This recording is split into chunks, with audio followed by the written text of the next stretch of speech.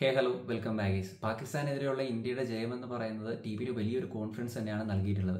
ആ ഒരു കോൺഫിഡൻസ് ആരാധകരുടെ ഇടയിലേക്ക് പകർന്നു നൽകാൻ ആ ഒരു ജയത്തിൽ ടീമിന് ആയിട്ടുണ്ട്.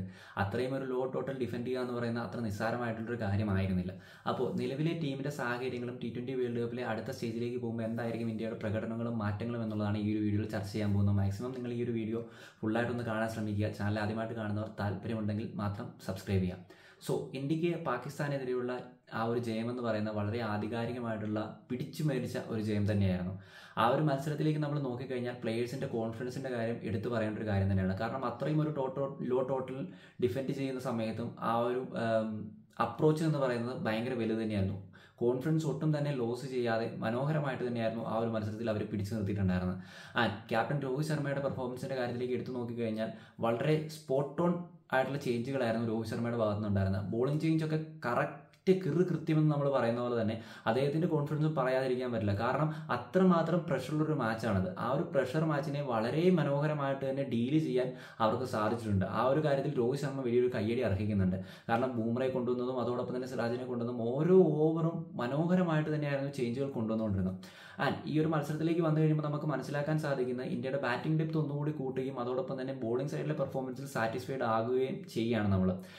ബാറ്റിംഗ് സൈഡിലെ ഡെപ്ത് ഒന്നുകൂടി കൂട്ടേണ്ടത് അനിവാര്യം തന്നെയായിട്ട് തോന്നുന്നുണ്ട്. കാരണം ഇങ്ങനെയുള്ള കൊളാപ്സുകൾ സംഭവിക്കുമ്പോൾ ഒരു എക്സ്ട്രാ അഡീഷണൽ ബാറ്റർ ആ ഒരു ലെവലിൽ ഉണ്ടെങ്കിൽ കുറച്ചുകൂടി ബെറ്റർ ആയിരിക്കും തോന്നുന്നുണ്ട്. ആ ഒരു ബാറ്റർ എന്ന് പറയുന്നത് എല്ലാവർക്കും അറിയാവുന്നത് പോലെ തന്നെ ശിവം ദൂബെ എന്ന പ്ലെയർ നമുക്ക് എല്ലാവർക്കും അറിയാം. ക്വാളിറ്റി ഉള്ള പ്ലെയർ തന്നെയാണ് യാതൊരു സംശയമില്ല പക്ഷേ ആളുടെ സ്ട്രോങ് സൈഡ് എന്ന് പറയുന്നത് സ്പിന്നാണ് സ്പിന്നെതിരെ കളിക്കുക എന്നുള്ളതാണ്. ആ ഒരു സ്പിന്നിന് അഡ്വാന്റേജ് ഉണ്ടാവുന്ന പിച്ചിൽ ആളെ യൂസ് ചെയ്യുന്നതായിരിക്കും കുറച്ചുകൂടി ബെറ്റർ കാരണം നമുക്ക് എല്ലാവർക്കും അറിയാം യു എസ് എ ഗ്രൗണ്ടുകളിൽ കൂടുതലും പേസ് ബോളേഴ്സിന് അഡ്വാന്റേജ് ഉള്ള പിച്ചുകളാണ് അങ്ങനെ വരുമ്പോൾ ദൂബെ പോലൊരു പ്ലെയർ ബോൾ പോലും ചെയ്യാത്തൊരു ബോൾ ചെയ്യാൻ അവസരം കൊടുക്കാത്ത ഒരു ഓൾറൗണ്ടർ നിലവിൽ ആറ് ബോളിംഗ് ഓപ്ഷൻ ഉള്ളതുകൊണ്ട് തന്നെ ഏഴാമതൊരു ബോളിംഗ് ഓപ്ഷനിലേക്ക് പോകേണ്ട ആവശ്യമില്ല.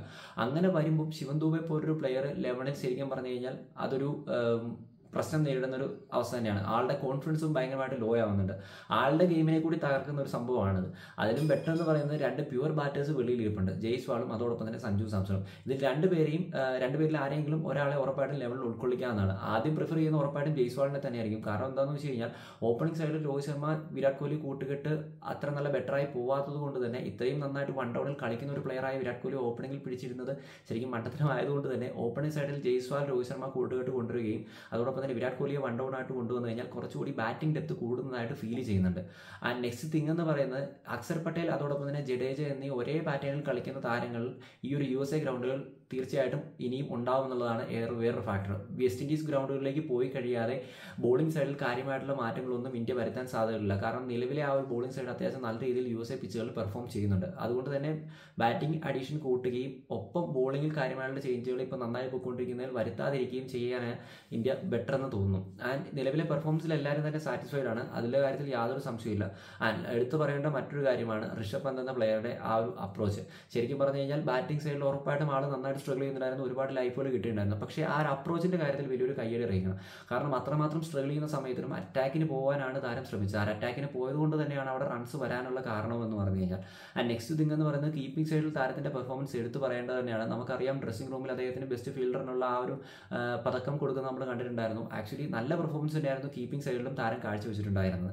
മനോഹരമായിരുന്നു തന്നെ പറയണം. വലിയൊരു സർവൈവൽ കഴിഞ്ഞിട്ടാണ് വലിയൊരു സർവൈവൽ കൂടിയാണ് ആൾ നടന്നു പോകുന്നതെന്ന് വേണം പറയാം കാരണം അത്രമാത്രം വലിയൊരു തിരിച്ചുവരണം എ സി എൽ സർജറി ഉൾപ്പെടെ കഴിഞ്ഞിട്ടും ആൾ അത്രമാത്രം ഫ്ലെക്സിബിൾ ആയിട്ട് ഗ്രൗണ്ടിൽ തോന്നിക്കുന്നുണ്ട്. അതോടൊപ്പം തന്നെ വളരെയധികം മെച്യൂരിറ്റി ആൾക്ക് വന്നതുപോലെ ഫീൽ ചെയ്യുന്നുണ്ട്. അത് ഗെയിമിനെ നല്ല രീതിയിൽ കൊണ്ടുപോകാൻ സഹായിക്കുന്നുണ്ടെന്നുള്ളതാണ് വേറൊരു കാര്യം. സോ എന്തായാലും ജയ്സ്വാളിന് ശേഷം ശേഷമായിരിക്കാനാണ് സഞ്ജുവിനെ പരിഗണിക്കാൻ സാധ്യത കൂടുതൽ. ചിലപ്പോൾ പറയാൻ പറ്റില്ല. എന്തായാലും അടുത്ത മത്സരത്തിൽ ലെവനിൽ ബാറ്റിംഗ് സൈഡിൽ ഒരു ചേഞ്ച് ഉണ്ടാവും എന്നുള്ള കാര്യത്തിൽ യാതൊരു സംശയമില്ല യു എസ് എ അത്ര നിസ്സാരക്കാരായിട്ട് നമുക്ക് കാണാൻ സാധിക്കില്ല. നാളെ വൈകുന്നേരം എട്ട് മണിക്കാണ് ആ ഒരു മത്സരം നടക്കാനിരിക്കുന്നത്. എന്തായാലും നിങ്ങളുടെ അഭിപ്രായങ്ങളും ദിവസം കമന്റായി രേഖപ്പെടുത്താം. It's me Gokul signing out bye bye guys